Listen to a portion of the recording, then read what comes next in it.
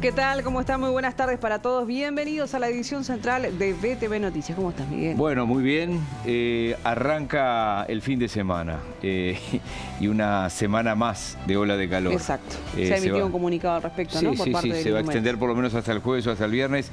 jueves de la semana que viene, lo previsto son 39 grados en Montevideo y el área metropolitana, 40 en el litoral sur, al abrigo meteorológico, ¿no? Eso de cara a la semana que viene. Y acá en Montevideo, ahí mi el índice mío del pasto de, ese cantero. Exacto. Ya habla de que falta agua, complicado, sí. viene, complicada la falta, de agua. Sí, sí, sin lugar a dudas. Está bien ese termómetro de, saber.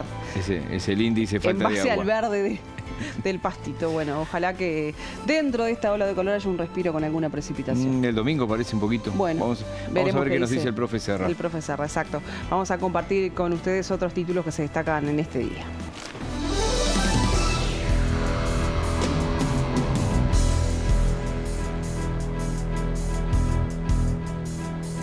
Carolina Cose pidió que el gobierno deje de hacer el gallito con Venezuela y que las eventuales denuncias que tengan se realicen ante los organismos internacionales correspondientes. Instancia clave en el Congreso argentino que busca acuerdos para la aprobación en diputados de la ley Omnibus. En BTV Noticias entrevista al presidente de la Agencia Nacional de Vivienda, Klaus Mil von Metzen. Con la información del carnaval recibimos a Nelson Burgos.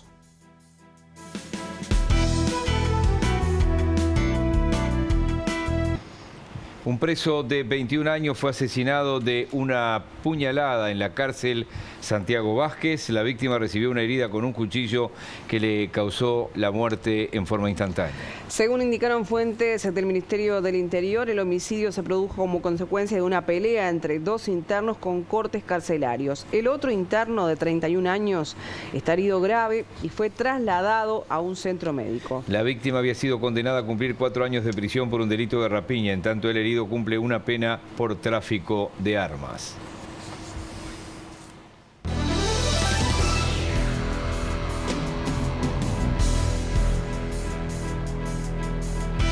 En la segunda quincena de enero ingresaron al país casi 423 mil personas, mientras que salieron cerca de 422 mil.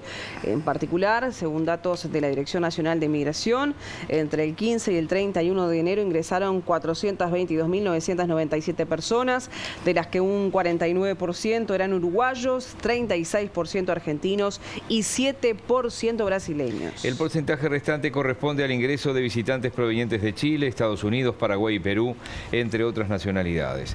Los principales puntos de control migratorio fueron Paysandú, Fraivento, Salto y Colonia. En relación a los egresos, 421.950 personas salieron del país, principalmente por los puentes de Paysandú Colón, Fraiventos Puerto Unzué, el puerto de Colonia y el puente de la represa en Salto.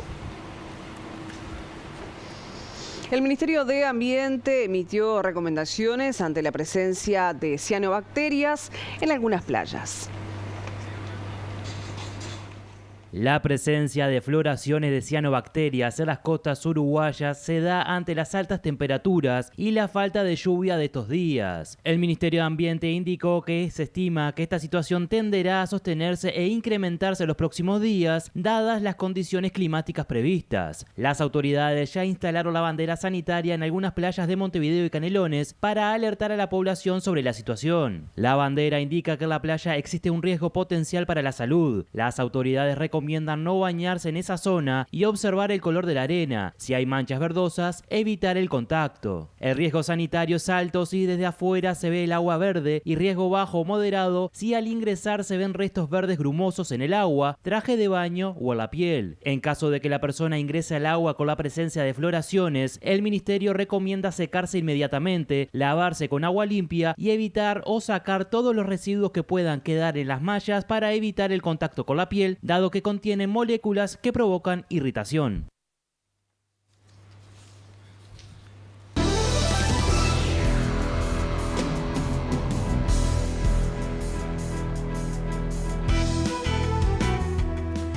La Asociación Rural del Uruguay reiteró que una posible operación Minerva es peligrosa para el sector ganadero y agropecuario. La gremial se reunió con la Comisión de Defensa de la Competencia que en unos días deberá expedirse con respecto a esta venta o a esta compra, depende del lado del mostrador que estén. El tema está siendo analizado por la Comisión de Promoción y Defensa de la Competencia del Ministerio de Economía y Finanzas, quien es la responsable de comunicar si avala o no esta transacción de Marfrig. En las últimas horas, la Asociación Rural del Uruguay se reunió con la comisión y tras el encuentro reiteró la preocupación porque dijeron es una situación peligrosa para el sector ganadero y agropecuario. El presidente de la asociación, Patricio Cortabarría, dijo a BTV Noticias que una empresa estaría trabajando con siete de las más grandes plantas del país y con gran porcentaje de exportación, lo que les permitiría manejar el 45% de la faena nacional. Entendemos que eso puede generar una posición de dominancia en el mercado y que el proceso de formación de precios, que en la ganadería el precio del ganado a faena, el ganado gordo, el ganado que, que va a ser faenado, define toda la escalera de precios hacia atrás, hacia los novillos, hacia las vacas, o sea, según lo que se esté pagando el ganado gordo, se paga todo el resto de la cadena. Entendemos que una posición dominante puede deprimir los precios y eso le puede quitar, bueno, en definitiva, eh, valor a todo el resto de las haciendas, generando un menor ingreso para muchísimos productores rurales. Esta comisión o esta ley este, de defensa de la competencia fue creada justamente para esto, para que el, mercado trabaje eh, de una manera equilibrada, libre y equilibrada y no generar concentraciones que permitan hacer uso de posiciones dominantes. Así que ese ha sido nuestro mensaje, es lo que hemos querido transmitir, sobre todo a los productores rurales que entiendan de que si tienen que negociar, estamos hablando de 40.000 productores, la mayoría ganaderos, este, 20.000 tienen que negociar con una sola persona, entendemos que hay un desequilibrio muy grande en ese sentido y, y nos parece una situación que deberíamos evitar, que Uruguay tiene las leyes Uruguay tiene el marco jurídico para hacerlo y bueno, que debería este, de ir por ese camino. El otro precandidato a la presidencia por el Frente Amplio, bueno, o uno de los cuatro, Yamandu Orsi, va a renunciar este mes a la Intendencia de Canelones. Orsi dijo que su campaña la basará en el programa que elaborará el Frente Amplio. No, nosotros, yo eh, me pienso apoyar en el equipo programático del Frente, liderado, dirigido por Ricardo Berlitz y Álvaro García con 30 comisiones. Como el Frente va a llevar un programa único y estuvo mucho tiempo elaborándolo, yo mm, no, no, creo que no, sería duplicar el esfuerzo. En mi caso, ¿no? Obviamente cada cual resuelve los equipos, pero tener un muy buen equipo de programa en el frente y, como el programa es único. ¿Tiene un equipo propio con gente que lo ha trabajado durante estos periodos, por ejemplo, la Intendencia? Ante temas programáticos llamo a los compañeros que estuvieron ahí si el programa es lo que nos une. Entonces, no, no. Creo que sería duplicar esfuerzos, de verdad. Y algunos deben ser compañeros que me acompañan a mí y otros deben ser compañeros que están con otras candidaturas, pero todos aportaron. Entonces, hay que aprovechar ese aluvión. Yo creo que, que no, no, no, lo voy a hacer. Orsi indicó que seguirá trabajando en la Intendencia de Canelones durante todo este mes de febrero.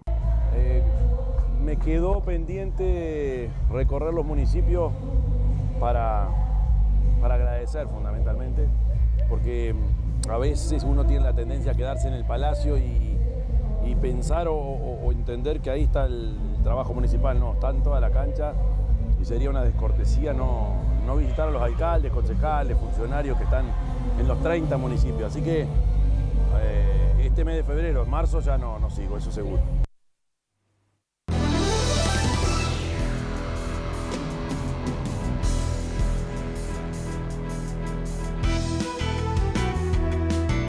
El presidente de ACE, Leonardo Cipriani, estuvo presente en la entrega de una nueva ambulancia en la policlínica del Balneario Buenos Aires. El jerarca destacó la instancia y la ampliación del centro médico que pasó a tener atención las 24 horas.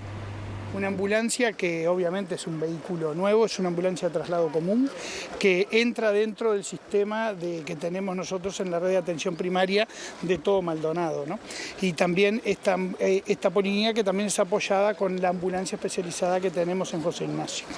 Esta es una policlínica en el cual le venimos trabajando ya desde hace tiempo. Eh, era de ser una policlínica que cerraba a las 4 de la tarde, hoy en día tiene una atención completa las 24 horas con médico de guardia y enfermería de guardia que permite dar una atención mucho más completa para, los usuarios en esta zona, que eh, estamos cerca de 10.000 usuarios que, tenemos eh, registrados aquí. ¿no? También se habla de una ampliación de la policlínica. Exacto, nosotros eh, lo más importante acá es tener el servicio las 24 horas. Es, lo más importante y es lo más costoso y es lo que más impacto sanitario genera porque salva vidas. ¿no? Eh, lo que estamos haciendo ahora es ampliarla la policlínica justamente para hacerle el servicio de urgencia como merece. Para eso estamos trabajando con la Intendencia ¿verdad? de Maldonado, en el cual un convenio para poder ejecutar. ACE va, eh, eh, obviamente va a, pagar la obra, pero lo vamos a hacer mediante la Intendencia. ¿Por qué? Porque de esa manera podemos hacerla mucho más rápido ¿verdad? Y, va a ser mucho más eficiente hasta por el tema de los costos como, como se puede llegar a ejecutar.